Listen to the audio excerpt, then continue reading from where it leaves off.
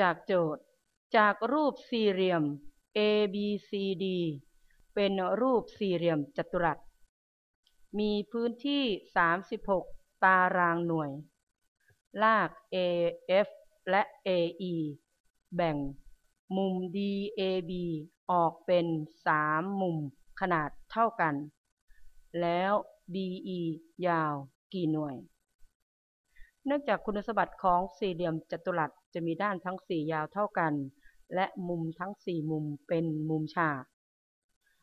มุม DAB ถูกแบ่งออกเป็นสามมุมเท่าๆกัน เพราะฉะนั้นเราก็จะได้มุม BAE เท่ากับ 30 องศา โจทย์ต้องการ BE ยาวกี่หน่วย เราก็กำหนดให้ BE แทนด้วย x ต่อจากนั้นเราก็จะหาความยาวของแต่ละด้านของรูปสี่เหลี่ยมจัตุรัส จากสูตร พื้นที่สี่เหลี่ยมจัตุรัส เท่ากับด้านคูณด้าน เราทราบว่าพื้นที่ของรูปสี่เหลี่ยม เท่ากับ 36เราก็แทนค่าพื้นที่ 36 เท่ากับ เราก็มาดูว่า 36 มันมีตัวเลขใดบ้าง 2 ตัวที่เหมือนกันคูณกันแล้วได้ 36 เลขนั้นก็คือเลข 6 เพราะฉะนั้นด้านคูณด้านก็คือ 6 คูณ 6 เราก็สรุปได้ว่าพื้นที่สี่เหลี่ยมจัตุรัสจะมีความยาวด้านละ พื้นที่สี่เหลี่ยมจัตุรัสจะมีความยาวด้านละ 6 หน่วย เราทราบขนาดของมุม BAE ทราบด้าน AB ต้องการด้าน BE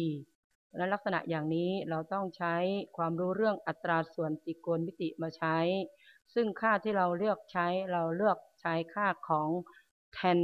30 องศา เพราะนั้น tan 30 องศาก็จะเท่ากับ ด้านตรงข้ามมุม 30 องศาก็คือ BE ด้านตรงข้ามมุม 30 คือด้าน BE และด้านประชิดมุม 30 คือด้าน AB แทน 30 องศา มีค่าเท่ากับเศษ 1 ส่วน square root 3เท่ากับ BE เรายังไม่ทราบแต่เรากำหนดให้เป็นค่าของตัว x และ AB ซึ่งเป็นด้านของรูปสี่เหลี่ยมเท่ากับ 6 นั้นเราก็หาค่าของตัว x x เท่ากับ 6 ส่วน square root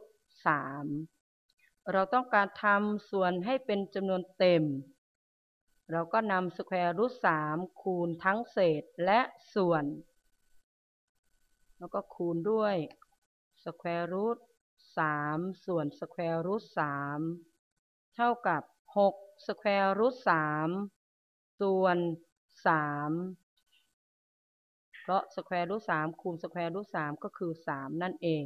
เนื่องจาก3สามารถหาร6ได้ลงตัว เพราะนั้นก็เท่ากับ